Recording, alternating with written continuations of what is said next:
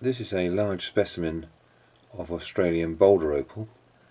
It's 51.55 carats and as you can see it's unlike most other boulder opal insofar as you've got pockets with this bright green to the left and then you've got this bar of blue and elsewhere within it there are odd bits of colour that are formed in pockets in the rock.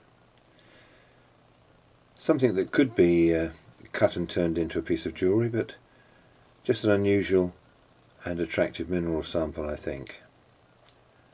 Unusual piece.